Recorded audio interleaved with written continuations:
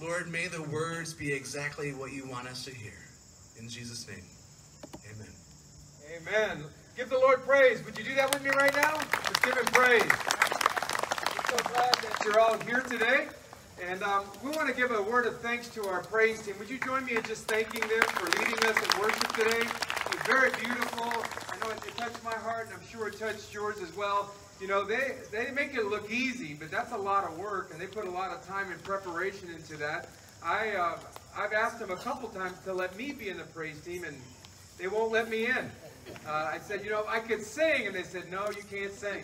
And I said, well, I could play the guitar, and they said, no, you can't. They will not. It's kind of like a prejudice thing or discrimination, maybe, right? They won't let pastors in the praise team. I don't know. So I appreciate them and the work that they do. And uh, it's, it's a beautiful day that God has given us to worship Him outside in His great outdoors. This is the beauty of God's creation. Just a little, our little slice that He's given us, and we're very thankful for it. And it's a blessing just to be outdoors and spread out and and uh, worship Him in, in this kind of a beautiful setting. And I'm so glad that you're here. Obviously, today is a very special day in our church calendar because we're celebrating our 61st anniversary as a church. Now, someone put out 62. I don't know who that was. I have no idea who uh, texted yesterday 62 years. It might have been me, it might not have been me, but it's actually 61 years. And 61 years ago, uh, and I'm, I'm, very thankful for Lake Hills Baptist Church, and we're going to talk a little bit about our history and heritage today. But we're just so glad that you're here uh, to worship us, worship with us today. And I want to mention a, real quickly a couple of things going on. And, and while I do that, let me just say, you know, the sun is coming out, and I guess it's just going to keep coming over. It tends to do that. So if you're in the sun too much and you want to move over here to the shady area, uh, you're welcome to do that. You're not going to bother me if you do that, you know, uh, right now. But later on, it bother me. I don't know. Uh, there's a little bit of sun, so you're welcome to move over if, if that's better for you. Go, uh, go right ahead. Now, let me just say that today we're, we're giving thanks to God. We're in fellowship with one another, and we're celebrating. And so besides the beautiful worship and the message from God's Word, we have the bounce house in the back for all of our younger children. And um, it, you're welcome to enjoy that. We would ask the parents that you would stay close and you would monitor your own children. We're only allowed like uh, five or six or eight or ten kids in there at a time. So you can, maybe 20, I don't know. There's a sign over there that talks about it. And 10 kids, I think, is the limit. So you parents, if you would help monitor uh, your child and the safety of your child and those kinds of things. Now we also have a food truck that's coming, and they're going to have like uh, really delicious pulled pork because I've had it before and it is good. Uh, cheeseburgers, hot dogs, and those kinds of things at a nominal price. So we hope that you will stay and enjoy. We're going to have games set up. We're going to have volleyball set up. And it's just going to be a great day. The Lord's blessed us with beautiful weather. So we're glad that you're here to be a part of it. You know, I, I was thinking of Psalm um, Isaiah 25 where it says, Lord, you are my God. I will exalt you and praise your name in for the perfect faithfulness that you have done wonderful things, things planned long ago. And I think about that, and I think about our church that, you know, this was a, a plan of God's that, that many, many years ago. And you know, I think of, um, you know, about 62 years ago, it would have been about 62 years ago, there was a gentleman by the name of Leroy Boken, and he was driving through the Lake Hills area, and, and you might have heard of a Boken Funeral Home. Well, that was uh, Leroy Boken, and he was a member of Calvary Baptist Church in Highland, and he was driving through this area, and he saw that you know, this is a, a popular, there were houses going in and there were children out playing. and He said, you know, he thought to himself, there needs to be a church in this area because there wasn't one. And he, uh, he wasn't a pastor, he wasn't a missionary, he wasn't a church planter. He was a, a, a church member, a Christian, just like you and I.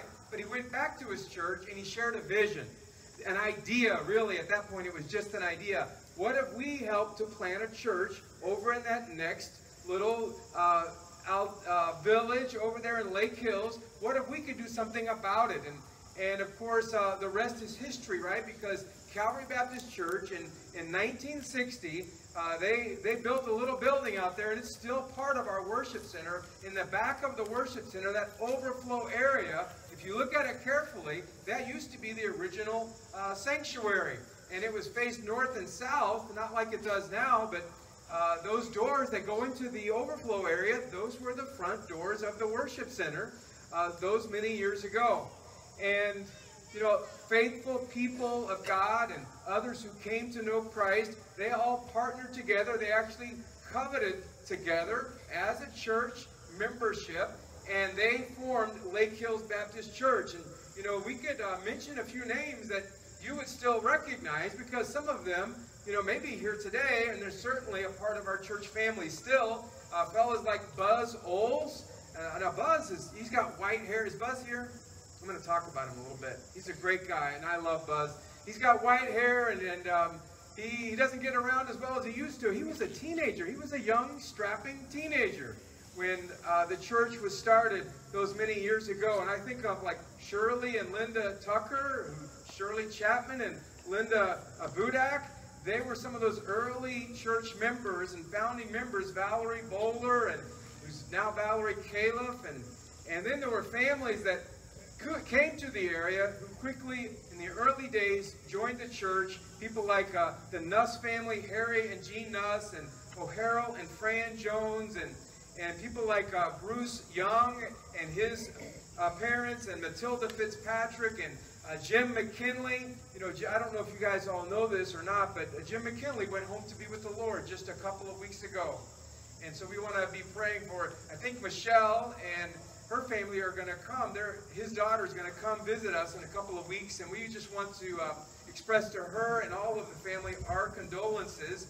But you know, there's other families that were added on and joined the church and came to the church over the years, and I think of some that you know uh, have gone home to be with the Lord, and uh, longtime members Bonnie Sherman just recently, right? And it's a blessing to have Jim in our service today. And Jim, we love you and we're praying for you and praying for God's uh, healing grace and peace in your heart and in all of your family as well. And we think of uh, Dave Wells and Matilda Fitzpatrick and Jack Grady and Mick Newman and Rich Barris. And we could go on and on and on. People that, you know, many of us knew and loved and that we miss deeply, and they are a part of the rich heritage of Lake Hills Baptist Church. You know, I was thinking of our church, and I was thinking of uh, a church in the New Testament that I really uh, love reading about and just really blesses me, and that was the church at Thessalonica. You know, we see in the New Testament there the first and second letters of Thessalonians that Paul wrote to the Thessalonians. And um, and I want us to talk a little bit about the church at Thessalonica this morning. You know, they um, Went on his missionary journeys, didn't he? And he planted churches. And his first missionary journey, he was in Asia Minor. And if you have your Bible, we're going to be in Thessalonians, First Thessalonians. And if you have your, your hard copy print Bible, if you look in the back, you can find a map probably that has Paul's missionary journeys. And it was on his second missionary journey. You know, the first one, he was in Asia Minor and at Ephesus and, and um, you know, the Galatia area. And he started some churches there in his early trip. His second trip, you might remember that he uh, had a vision. And the man from Macedonia, read about that in the book of Acts, and he, and he saw in his this dream this person that was calling him to come to Macedonia. We need the gospel over here. And so he, uh, that was the Spirit of God leading him. And so he was obedient. He went, crossed the Aegean Sea, it is, and he crossed over to Philippi. And he, you know, great name. I love the name of that city. You know, Philippi comes from Philip.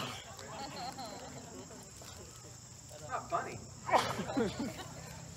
Philip was, uh, some of you guys that um, really have your ancient history down, you may correct me on this. If I'm not mistaken, and I might be, Philip was the father of Alexander the Great. Is that true? Is that right? Am I right?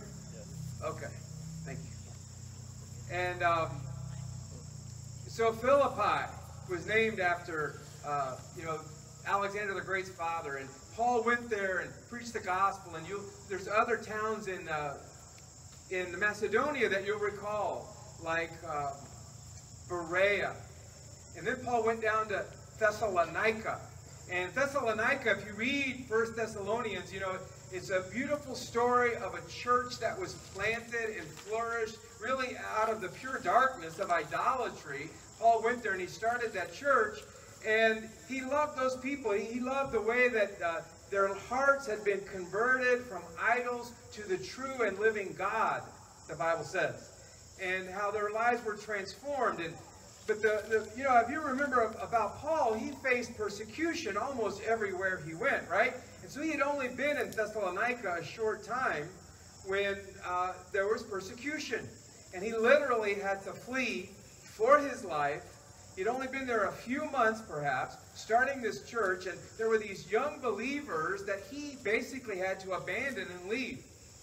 And they didn't go far, but they, they got out of town, and and they were thinking about this young church, worried about this young church. Are they going to be with, able to withstand the persecution and those kinds of things? And, and so he was very concerned about them. And so he wrote, he actually sent Timothy back into that area to visit them and to encourage them and to establish them. And he wrote this letter of First Thessalonians. And um, it's, a, it's a book about Christ's second coming. It's a book about being faithful. It's a book about being holy. It's a book about prayer. And, and it's, it's a book that um, about encouragement because he wrote to encourage them. You know, the word encourage, and we're going to talk this today about the power of encouragement as a church family. The power of encouragement, the power that you uh, wield in, in encouraging others. The word encouragement means to give courage to someone. And what oxygen is to the lungs, encouragement is to the soul. And you know, sometimes we can, uh, you know, some people, they all they see is problems. And, you know, sometimes we can fall into the trap of being just a little bit too negative. You know, it reminds me, uh, I hunt a little bit, and I mostly, you know, sit out in the woods. I'm not, I don't do a lot of killing, you know, but I do I do go out there. And it reminds me of the story of the fellow had this, you know, this new duck hunting dog that he was so proud of. And this was a special dog. Matter of fact, he took this dog out one time, the first time, and he, you know, he shot a duck or whatever, and, and the dog literally walked on the water out to the lake to pick up the duck and walked back on top of the water. That's a pretty special dog, right? So he took his friend out, and um, you know they were shooting you know, he's like my new dog. You know, he's a special dog. You'll see. You're gonna really like him. And and so they shot their first duck, and this dog, right in front of this fella and his friend, he walks on top of the water, out to pick up this duck, and he comes back, and and the, the other, his friend didn't say a word. He didn't say a word. And the guy's like, man, he's not impressed. He, I can't, you know, this dog just walked on water. And he said, what do you think of my dog? Did you see that? And he said, yeah, he can't swim worth a lick. Some people, you know, someone told me one time that even if you found a cure for cancer, some people wouldn't like it. They wouldn't be happy about it, right? Because sometimes we can just fall into that negativity. It seems like everywhere right now in our world today, there are discouraging words everywhere you go. But Paul was an encourager. And he, uh, I want us to read here, and we're going to read in chapter 3. And, uh, you know, I wish we could read the whole book, but um, we're going to read here in chapter 3 his words to his friends at uh, Thessalonica. Now, really, you know, this book of Thessalonians, it's really a book about ministry.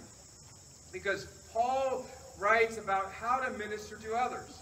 And you can read it in the second chapter. He says, first of all, you want to care for them, just like a mother cares for her young children. You care about people. You're sensitive. You're, uh, here's a word for you to go home and look up and build into not your just your vocabulary because you've heard the word before, but to build into your personality. He said, I cared for you as a nurturing mother cares for her little children. The word nurture. That we would learn to be a nurturing kind of a person, right? Where you care for people, you're you're nurturing, you're you're cultivating a sense of warmth and love and affection toward them. Paul said, That's the way I cared for you. But then he goes on and he said, But I also encouraged you as a loving father. So I could speak into your life. I could offer you words of wisdom in a, in a gracious manner. And I want I encourage you in that way. And um, and then he mentions prayer. That I have prayed for you.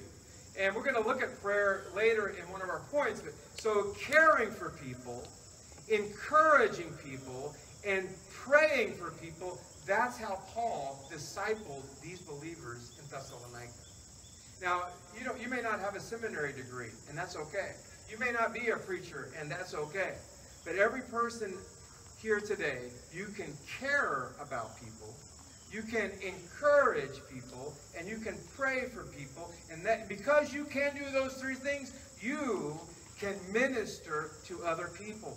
Now, it, it starts right in your own home, right? You can care about the people in your house that live in your house. You can encourage the people that live in your house. You can pray for the people that, and when you do that, and Paul was like, he was overjoyed at the spiritual growth and development of these believers. Let's read. Now, we're, we're talking about the encouraging part today. That's what we're going to kind of focus on here in our time together. So we're going to begin reading in verse 1 of chapter 3 of First Thessalonians.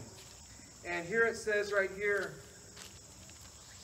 Therefore, when we could no longer endure it, we thought it good to be left in Athens alone, and we sent Timothy, our brother and minister of God, our fellow laborer in the gospel of Christ. We sent Timothy to establish you and encourage you concerning your faith. So he said, when we could no longer endure it, what was he enduring? He was in he was beside himself, worried and concerned about these believers who he had no communicate, no email, no cell phone signal, none of that. They had just been gone for, for several weeks and perhaps months. And in his mind, he's like, how are they doing? Are they holding together as a church? There's persecution over there. Have they given up on the faith? He said, I, I was I couldn't take it anymore. So I had to send Timothy to check on you guys and to encourage you guys. And he did. Paul couldn't go himself because it would have cost him his life. Right? He, it wasn't safe enough for him to go. He sent Timothy. And then um, verse 3, it says, uh, Why was his concern about? That no one should be shaken by these afflictions. Now, in their day, their afflictions that might have uh, caused these believers to quit was uh, persecution. You know, they were arresting them. They were putting them in jail. They were losing their livelihoods, their jobs. But, you know, I think we can translate today that there are certain afflictions going on in our society. The world seems like it's turned upside down in many respects, doesn't it? And, and so, how are these afflictions going to affect affect us or not? And how is our faith going to endure and um, survive in the midst of these things? And we all need encouragement in that area. He goes on, he says in verse 4, he, uh, you know, we told you beforehand that we were going to suffer tribulation, just as it has happened. And you know. And for this reason, he says it again, I could no longer endure it. I sent to know your faith, lest by some means the tempter had tempted you, and our labor might have been in vain. He said, I was, I was afraid that you guys had quit on God because of all the things you were, the afflictions that you were going through. So I sent to know your faith. And he says now he's already got the result back in verse 6. He said, Timothy came back to us and brought us good news that your faith and love about your faith and love, and that you always have good remembrance of us, greatly desiring to see us, and we want to see you also. And then he says in verse 7, he says, Therefore, brethren, in all our affliction and distress, we were comforted concerning you by your faith. So it, it helped us to know that you're doing well, that you're maintaining uh, faithful and committed in your faith and in your love for one another. For now, verse 8, for now we live, if you stand fast in the Lord, for what thanks we can render to God for you. We're giving thanks to God for you. For all of the joy which we have, we rejoice for your sake before God. And then he goes on, he closes in verse 10, he says, Night and day we're praying for you exceedingly that we may see your face and perfect what is lacking in your faith. Now, um, the word encourage means to give courage to. It is, uh, here, here's a trivia question. Can you think of someone in the Bible that was known for encouragement? Like their name means encouragement? Barnabas, right? Barnabas, uh, if you remember Barnabas, he was, you know, one of Paul's colleagues and really one of Paul's mentors. He was the first person who believed in Paul, right? And his real name was Joseph. But no one, if I said, you know, Joseph that ran around with Paul, you wouldn't know who I was talking about.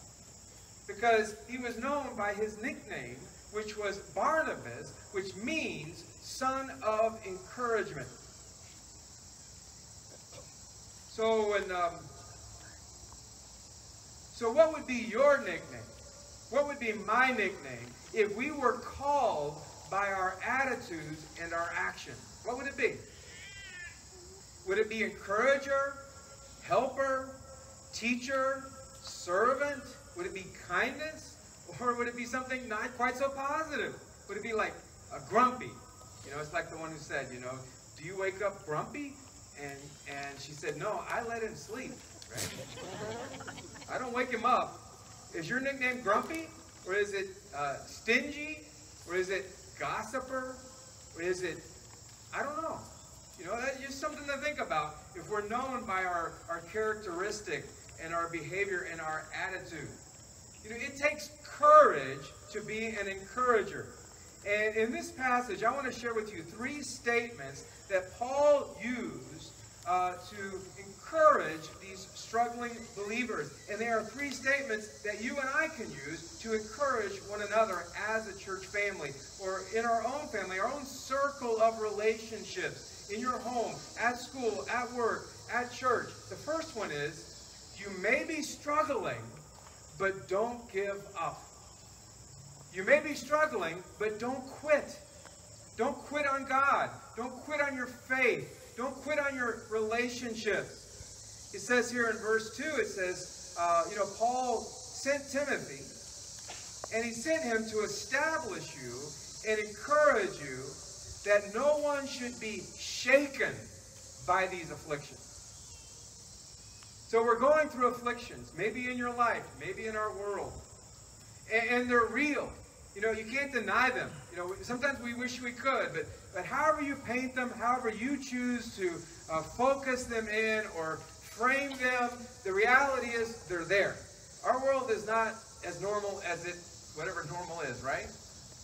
You know, I, I think we can identify with uh, the greatest generation of our country, the World War II generation, when they were going through you know, times of upheaval and turmoil. I think on some level we can identify with our parents who lived through, and some of you, you know, not your parents, some of you who lived through the 1960s and the civil rights uh, movement and the Vietnam War and, and, the chaos that was going on in our world and our society. I think on some level, I'm not comparing or stacking, you know, uh, comparing stacks. I'm just saying there is some similarity, that there is a lot of, of you know, he uses the word afflictions, turmoil, problems. And he said, don't be shaken by those things. Don't allow the, the misinformation, the, the controversy, uh, the, uh, the disagreement, the, the conflict. Don't allow all those things to cause you to give up on your faith or to give up on your church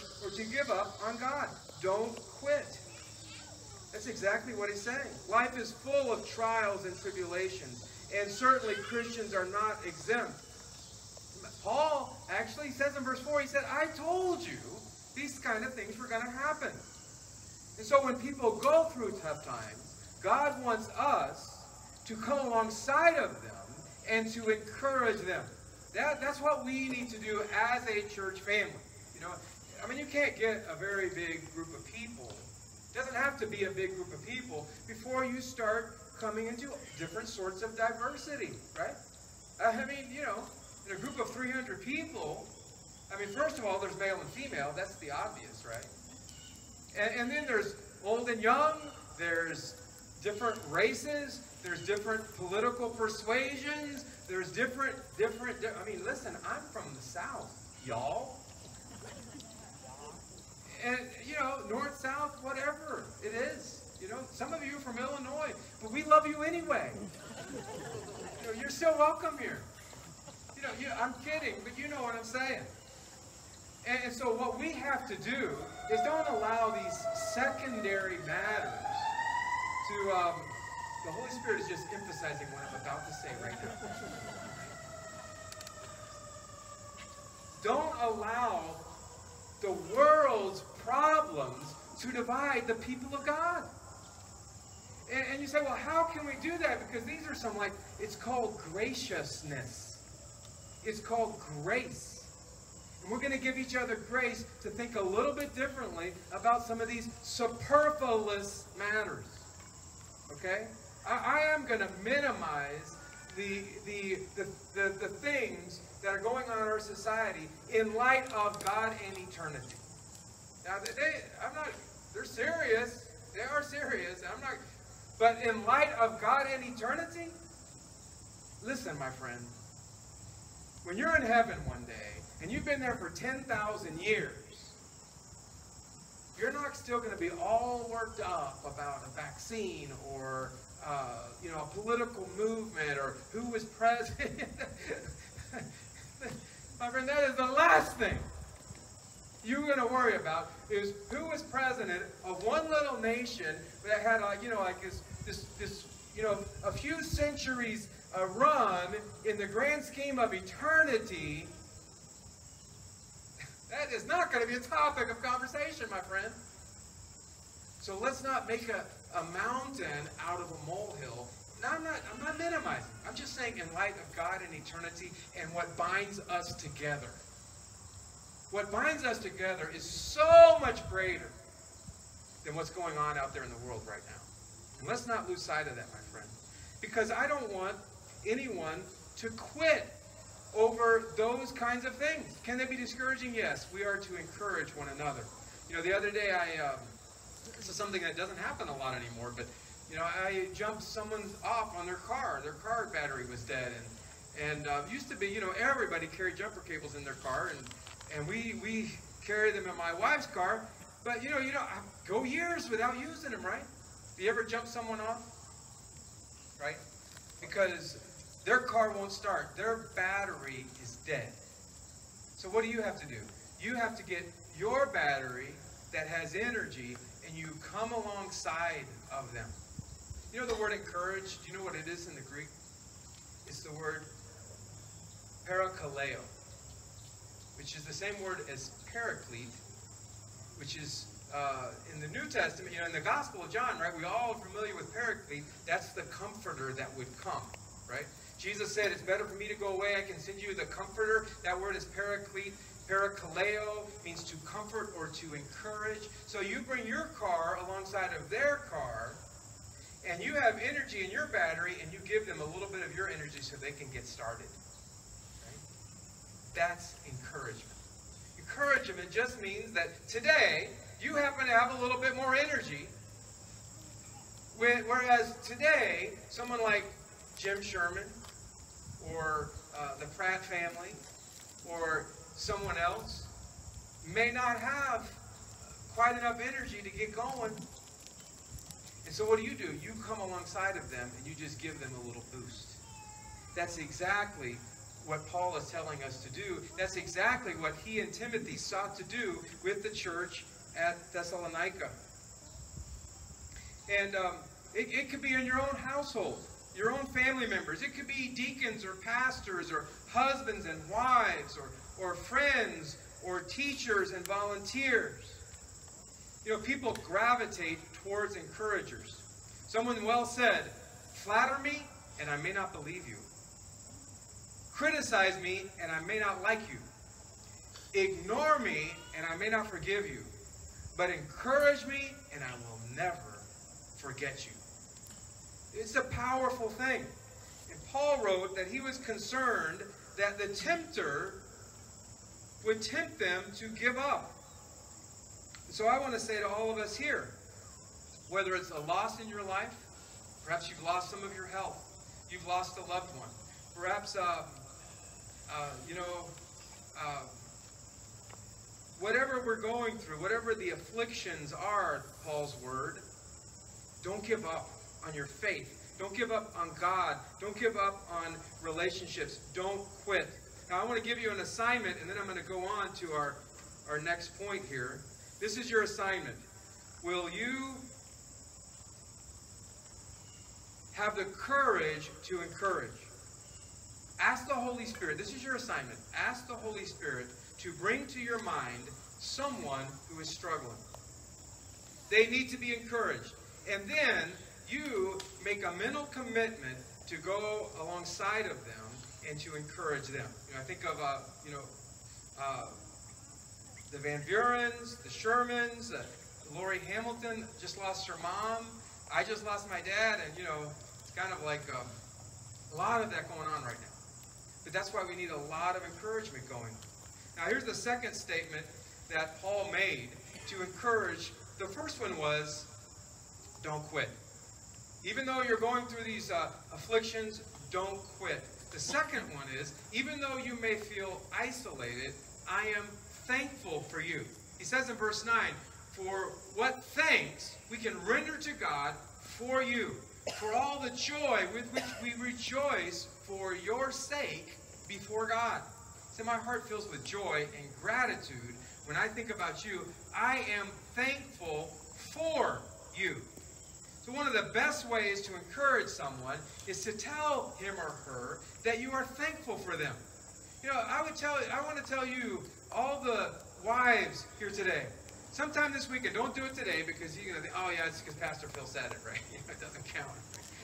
Sometime this week, uh, just you know, drag up in your soul all the sincerity you can muster, and sincerely thank your husband for being faithful, for being a good provider, for loving you and loving your children. Thank him for being uh, who he is, and vice versa.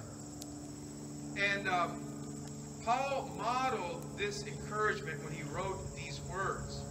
I give thanks to God for you. Sometimes people can feel alone, or they can feel overlooked or unappreciated.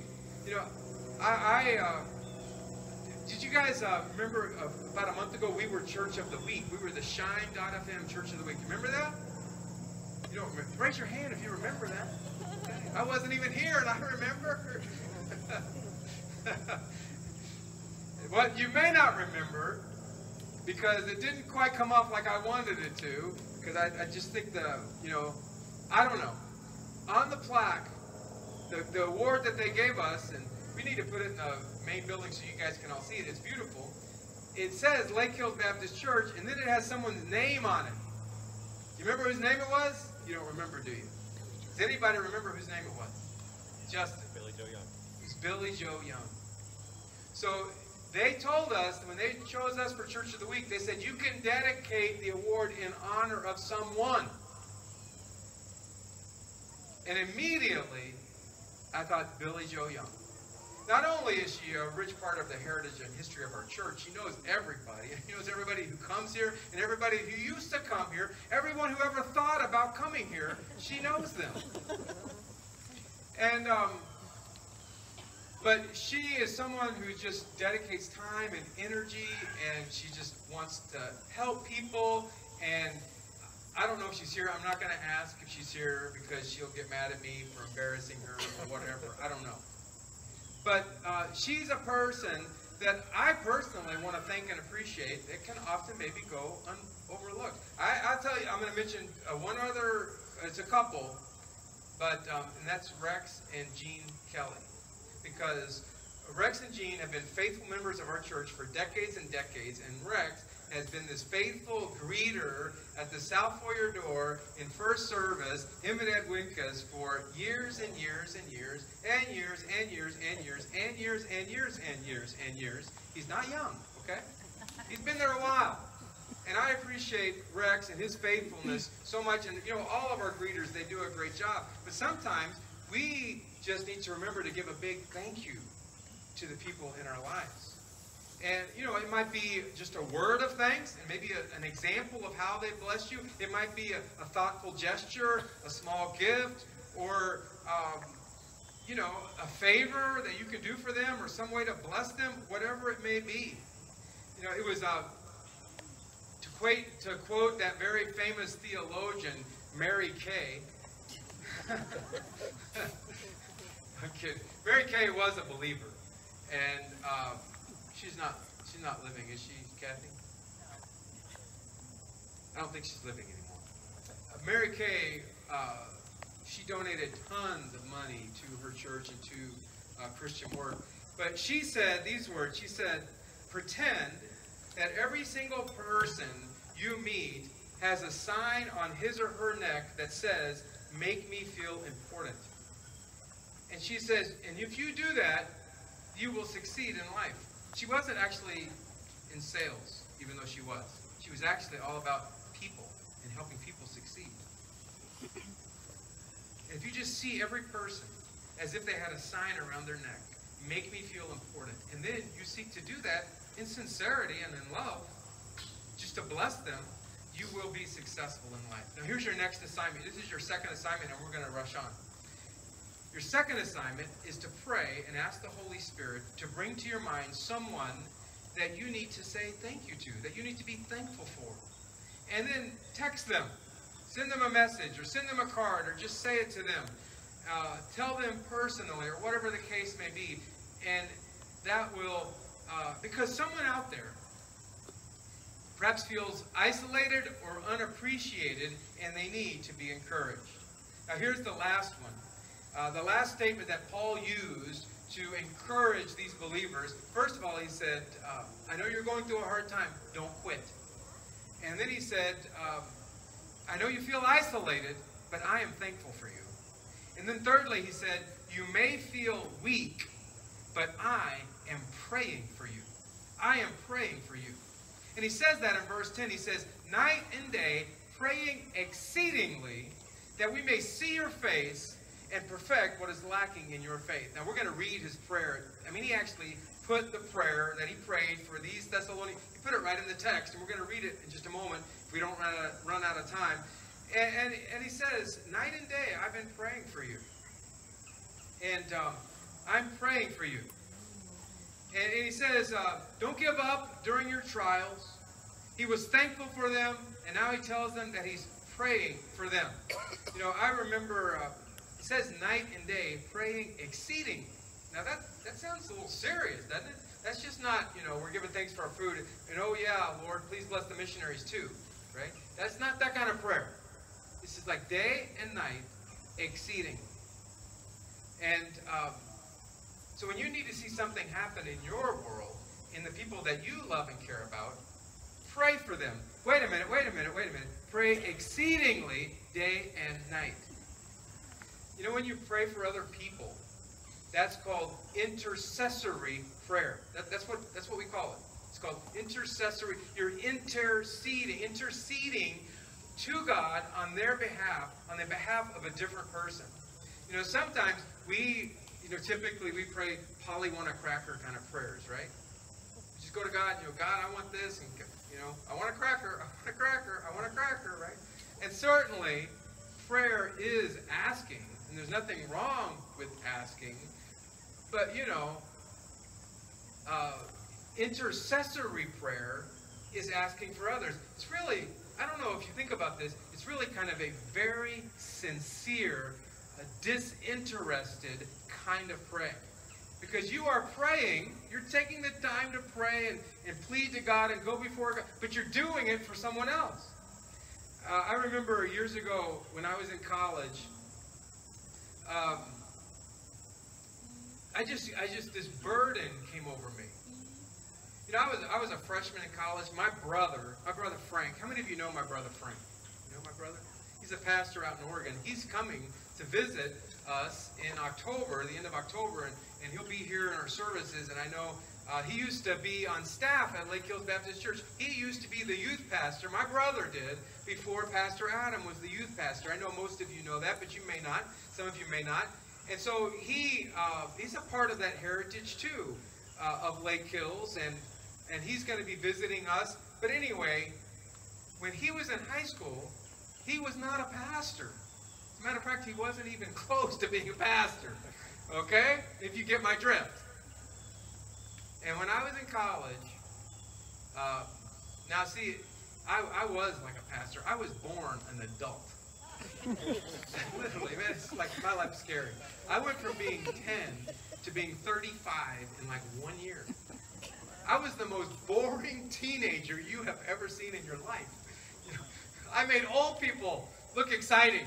That's how boring I was. So we were a lot different. So when I was in college, I had this burden for my brother and my sister. They were older, they were a little bit older than me, but I was spiritually burdened for them. And you know what I did? I uh, I did what this verse said. I began praying night and day. And every night, about 8 o'clock, before I would go to bed, I would go outside. There was these little, there was little trees, kind of like our prayer trail. It's kind of like, you know, not a big area. It wasn't, you know, it's just a little area. And I would go out in those trees, and I would just pray. I would pray out loud. And uh, there was, you know, it was kind of windy and cold. There was no one else out there, which was probably a good thing. I would pray out loud, and I was just crying out to God for my brother and my sister. And I was just praying for them. And I did that probably not every night of the week, but very often for weeks and weeks and weeks. Probably three or four nights a week, I was out in those trees for about, I don't know, 30 minutes or an hour, just praying to God. And really, all I asked Him for was my brother and my sister. Now, I, am not here to lift up myself because, you know, I don't answer prayer. You know, God does according to his own will. All I know, you know, and certainly that was, that, that was the Spirit of God who laid that burden on me, right? It wasn't anything to do with me. All I know is that a year later, my brother, it was really that same year, later that year, my brother rededicated his life to the Lord. he surrendered to preach and he marched his little self off to Bible college. Right? And it was like night and day from where he was headed to where he ended up. And if you know someone who's discouraged, or maybe they're getting off track, or maybe they're being distracted by the world, or whatever the case may be, you can encourage them by praying for them Tell them you're praying for them. You know, those are the scariest words that you can ever say to some people, right? If you say you're praying for me, I'm like, you know, keep it up. I need it. But there's some people, you make them very awkward and nervous if you were to tell them, hey, I just want you to know I'm praying for you. They don't know how to take that. but that's probably a good thing. That, you know, that's probably a good thing. And you pray for them exceedingly night and day and you just step back. When you pray exceedingly night and day for someone else besides yourself, you just step back and watch what God does. You watch what He does.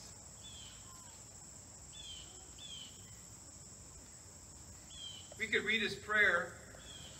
It's in verses 11 through 13. He basically said, really, it's the theme of the book of Thessalonians, is what he was praying for them He said that God, I'm asking God to fill you with love. I'm asking God to strengthen your heart and make you faithful. And then he said, I'm asking God to make you holy and ready for his return. Blame, blameless and holy. So if you want to pray for someone, maybe it's your brother, maybe it's your child, maybe it's your teenager. I don't know who it is. Pray for this.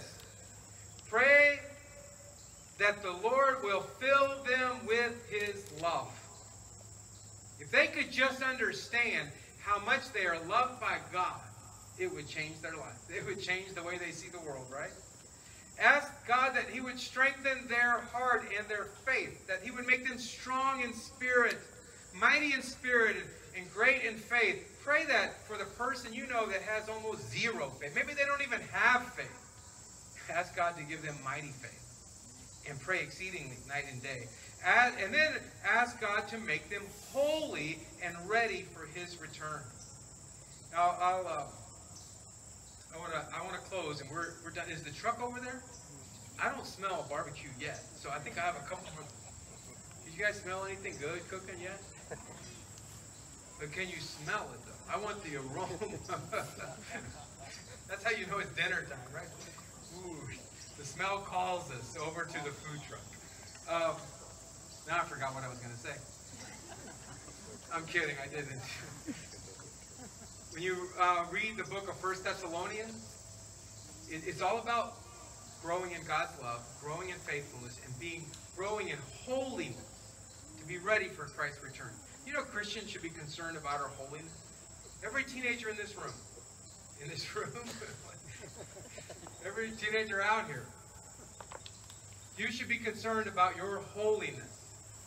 And and going through your teenage years, maybe a little bit boring, maybe under some people's definition, but a little bit holy so that you don't have to live with a lifetime of regret just think, oh man, I really, I really blew that. What in the world was I thinking? Oh, I'm, I regret that. I'm sorry I did that. You can avoid a lot of that. Anyway, that's a message for a different day. And, and, and it's all about Christ's return. You know, uh, Thessalonians is, this is how bad the persecution was, okay? They, Paul, in the short time he was with them, he taught them all about Christ, and he taught them about Christ's second coming, and what it would be like, and what the world would be like. Their persecution was so intense, they thought they were in the middle of the tribulation. That's how bad it was. And they were concerned that Christ had already come and they had missed it. That's how intense the persecution, that's how upside down the world was. Can I can anyone relate to that? Has anyone in the last year and a half asked yourself, Christ must be coming soon? It's like the meme I saw over a year ago, and it's so true. It was like the lady was looking down the highway, and she says, I'm looking to see what chapter of Revelation is today. And that's the way it's been. So you feel like Christ must be coming. And you know what? He is coming. He is coming. And First Thessalonians is about that. There's three prayers in First Thessalonians. One at the beginning, one in the middle, and one at the end. And they're really keys to understanding each portion of the book. And this is the middle prayer here in chapter 3. And he was praying that they would be filled with God's love, that they would be strengthened in their faith, and they would be ready and holy for Christ's return. Now, some of you are saying, and, I, and I'm done, some of you are saying that, Pastor Phil, that's great about encouraging others. And with God's help and the Holy Spirit uh, prompting me, I'm going to seek to do that. But Pastor Phil, you really kind of missed it because I'm the one who needs encouraged. I'm the one who's got a dead battery, right? I, I get that. You know, and, and sometimes you have to encourage others while you're waiting to be encouraged. Now, that may not seem fair, but it's kind of that way sometimes. And I'll tell you this about encouragement. It's kind of like a boomerang, right? Have you ever owned a, a, you know what a boomerang is, right? They're, they're from down under, right? And, and it's kind of a weapon, it's a hunting instrument. And it's kind of like the fellow that he bought a new boomerang. But he couldn't do anything with his old one because he kept throwing it away. boomerang, you, you throw it out about 50 yards, and I used to have a boomerang when I was a kid. I haven't thought about that in years. They are really cool because you throw it out and it comes right back to you, right? That's how boomerang works. That's how encouragement works. You, you, you give it out to others, and somehow it comes right back to you. Maybe from a different direction, but it comes back to you. So I want to encourage you to be encouragement to others, and you know what? You will find yourself being encouraged. Let's bow together for prayer.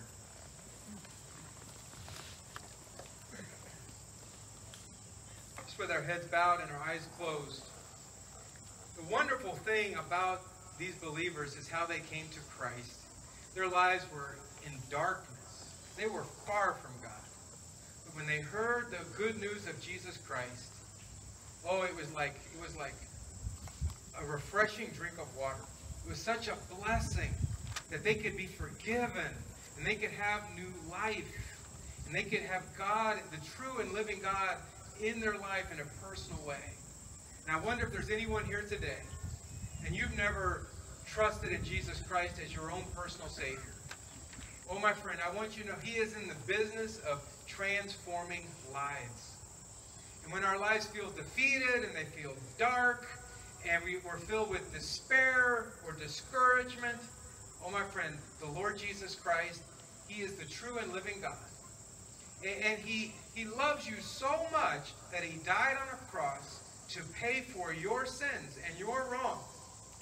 And if you will believe in him and invite him into your life, he will be your Savior. He will come into your life and he will be your God. And, and you just read the Thessalonians and how their lives were turned uh, into such a positive force because of Jesus coming into their life. There may be someone here today and you need to invite Jesus Christ into your life. Oh, I pray that you would. I invite you to ask him, believe in him, and ask Him to come into your heart and to be your Savior. You can do that right at this very moment. And of course, there are many, many others of us, and we stand in need of encouragement. My friend, one of the ways is by being an encouragement. It's that whole boomerang thing. And if we can encourage others, and just like it affirmed that young church, it will affirm our church. Don't quit. I know there are afflictions. There's whatever you want to call them, they're there. Don't quit on God. Don't quit on your faith. Don't quit on your church. Don't quit. Because we're thankful for each and every person who makes up this church family. And we are praying for each, we're praying for you. We're praying for you. And going to be an encouragement to others. Our Father God, we thank you today for 61 years of faithful ministry and of your goodness on this group of people. Father, we're thankful for how you have used us in some way to be a lighthouse in this community. And I pray that we will continue to be faithful and holy in a loving church family. That the love of God would be so strong in us that it would just overflow and spill out on the people that live right around our church. That they would sense that there is a people that love us, and it's because God loves us. Father, we pray that our church would continue to be an encouraging place and uh, a nurturing place. And, and we pray, Father, for your richest blessings on our church family. We pray this and we ask it in Jesus' name.